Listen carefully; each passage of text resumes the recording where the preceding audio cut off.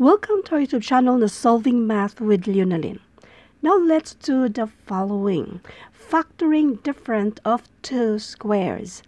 Pero bago ang lahat, para sa mga first time pa sa channel ko, ito yung FB natin, na wag na kayo mag-PM dyan, tambak na yan ang mga messages. Kung mayroon kayong concern, pwede dito sa FB page na Free Reviewers Managed by Leonalyn. Kung mga estudyante din kayo dito lang sa Solving Math with Leonalyn. Now, para naman sa naghahanap ng mga libreng printable na reviewers, punta kayo sa files sa grupong ito, Philippine Civil Service Review for All. Para sa detalye, ulgaliing basahin yung description ng videong ito. At ito naman yung iba pa mga FB groups na lagi nating tinatambayan. Now, let's do number one. Factoring different of two squares. Number 1, meron tayong x squared minus 1. Anong gagawin natin? Isa-isahin natin ito, pero gagawa muna tayo ng dalawang bahay. Obviously, ang ating operations na nasa gitna dito, since negative 1 siya, ito ay plus at minus. Square root of x squared equals x lang yan siya. Next, Square root of 1, 1 lang din naman. So therefore, yan na yung sagot dito sa number 1. This is x plus 1 nasa loob ng parenthesis at yung nasa pangalawang bahay-bahay natin, that is x minus 1. Next, number 2. So kung ano ginawa natin sa number 1, ganun din ang gagawin natin dito sa number 2. Square root dito sa ating 25 and that is 5. So therefore, sa dalawang bahay-bahay na gagawin natin, mayroon yang 5. Yung katabi na y squared, square root niyan ay y lang din naman.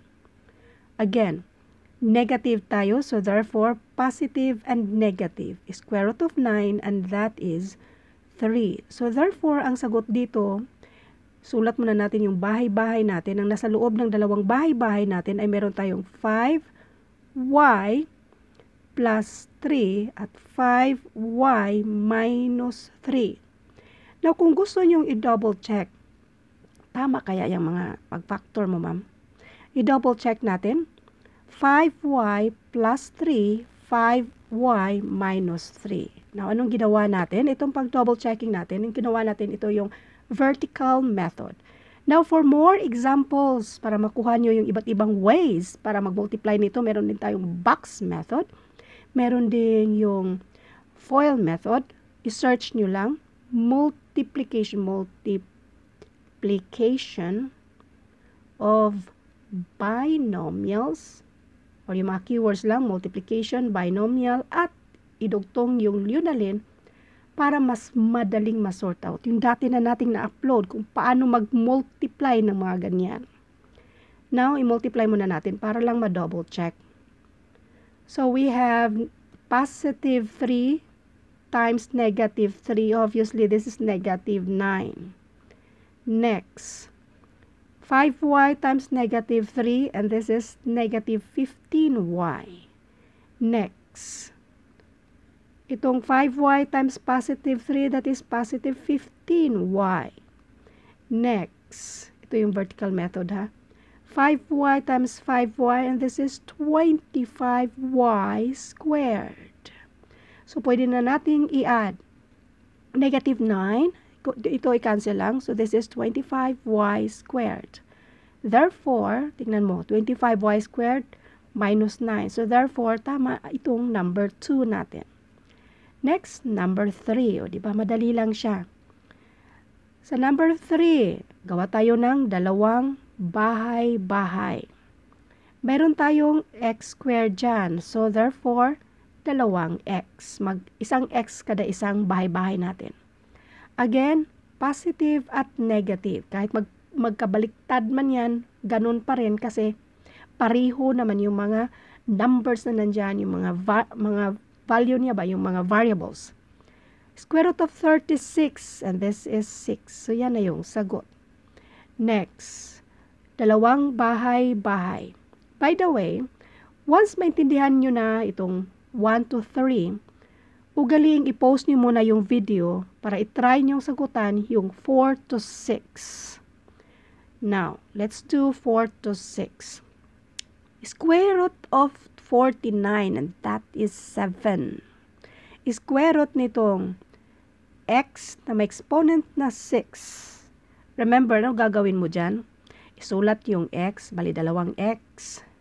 Tapos, itong 6, huwag ka maghanap ng square root niyan. Kasi sa multiplication of mga variables, mag-add ka kasi. Therefore, i-divide natin ng 2. 6 divided by 2 and that is 3. So, therefore, this is x cubed. X cubed. Again, plus and minus. Square root of 100 and that is 10. Next, dito tayo sa number 5. Square root of 9. Wait, dalawang bahay-bahay muna. Square root of 9 and that is 3. So, parehong mayroong 3. Square root of x and that is, ay, square root of x squared, that is x. So, that parehong mayroong x. Tapos yung plus and minus natin. Square root of 64 and that is 8. So, yan na yung sagot. Number 6, again, uh, gawa tayo ng dalawang bahay-bahay.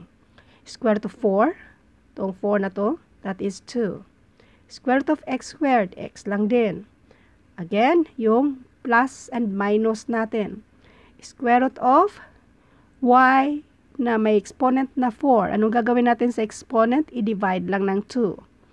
So, y uh, squared, y squared. Yan na yung sagot. So, kung na-post na yung video, what do you think na gets nyo ba yung 4 to 6? Anyway, pagdating sa mathematics, wag nyo lang pangunahan ng takot. Madali lang ang mathematics. Thank you for watching and all. I hope mayroon kayo naintindihan sa videong ito. Now, abangan sa next na video. Factoring perfect square trinomial. Thank you and God bless.